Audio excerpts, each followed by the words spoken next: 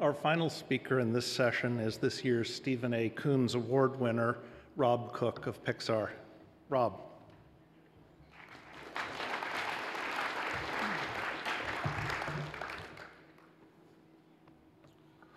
Thank you, John.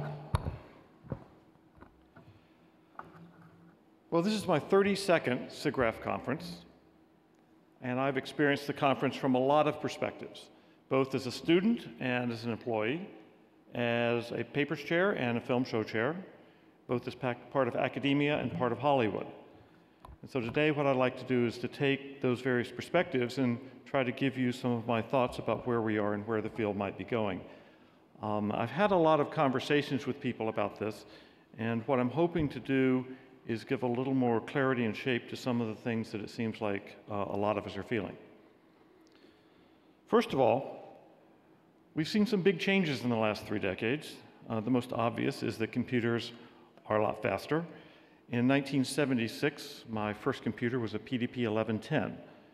It had 256, 256,000 instructions per second and uh, 16,000 um, bytes of memory. By comparison, my laptop today is about 100,000 times that powerful. It's hard to comprehend a number that big. It's um, the difference between an hour and a decade.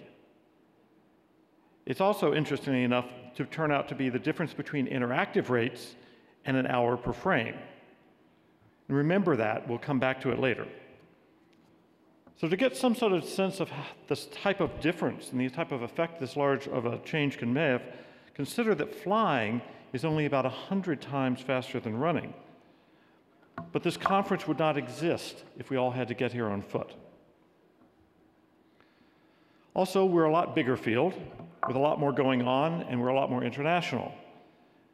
And another thing that's changed is that we know a lot more now. Originally, there was no field of computer graphics to go into. And so most of us got into it in some kind of oddball way, and we didn't have the background that people have today. And in some cases, we hadn't even figured out what expertise would be relevant. And that made things a lot harder. For example, I really struggled to figure out distribution ray tracing, suspecting that there must be similar work in other fields, but I was unable to find it. I spent days hunkered down in the Berkeley Library without finding anything relevant.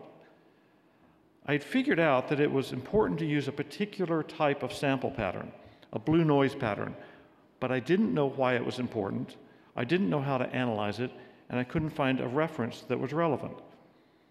My break came when Alvy Ray Smith happened across an article in that week's Science Journal that had a picture that looked a lot like my sample distribution.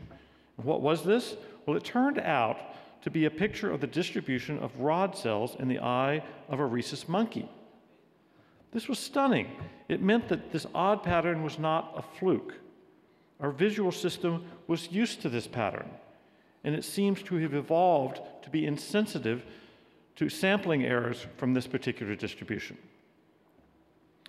Eventually, I found out that this technique was a form of something called Monte Carlo integration, which was originally developed by physicists in 1947. Though they used it for a different purpose, namely to simulate neutron diffusion in the hydrogen bomb. Here is a blackboard with von Neumann's flow diagram of the first Monte Carlo algorithm. And by the way, this was the first algorithm ever run on the ENIAC.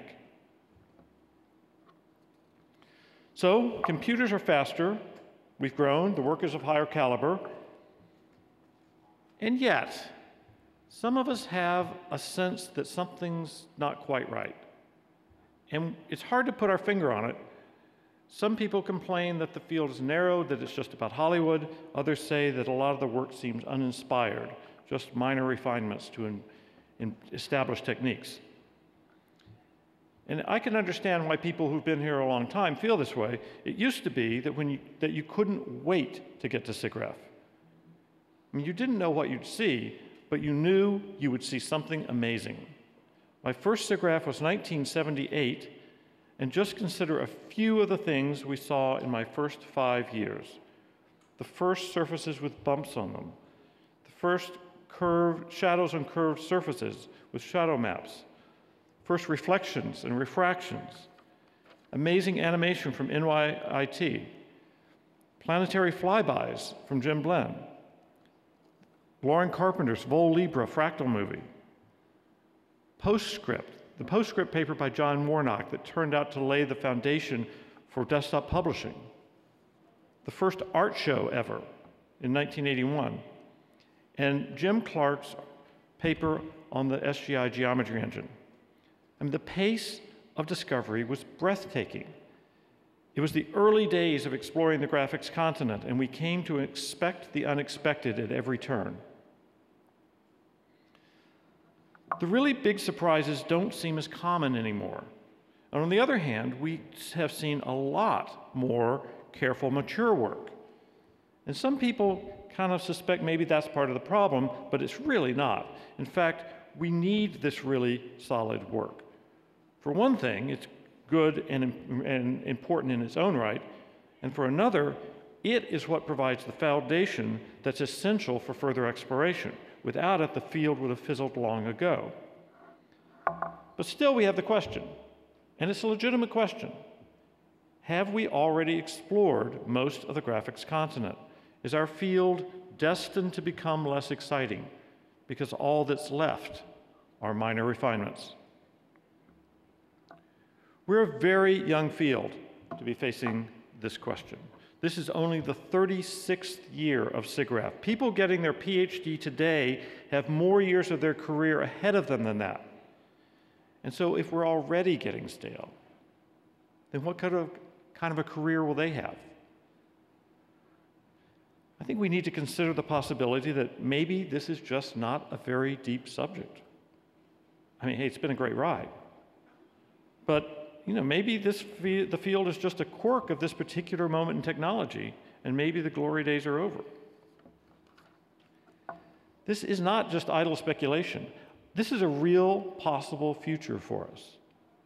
We could easily find ourselves slowly fading into a niche.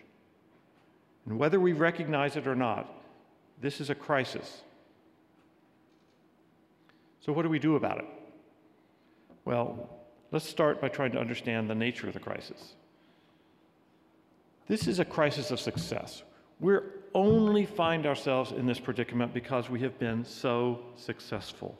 We have solved or largely solved an impressive number of hard problems scene complexity, surface appearance, lighting, camera effects, and simulation, to name just a few.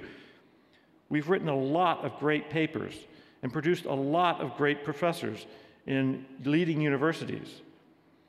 Our conference is larger than that of our parent organization.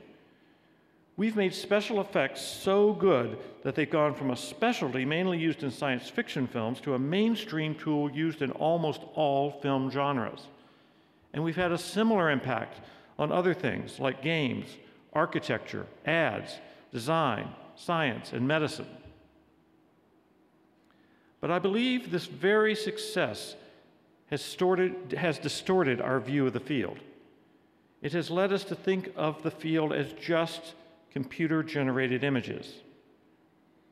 Now, that is and will continue to be an important part of our field. But if we define the field by our past successes, if we allow those successes to circumscribe the field, then we are automatically putting ourselves into an ever narrowing corner. Our challenge then is this how do we define the field not by the successes behind us, but by the opportunities ahead of us?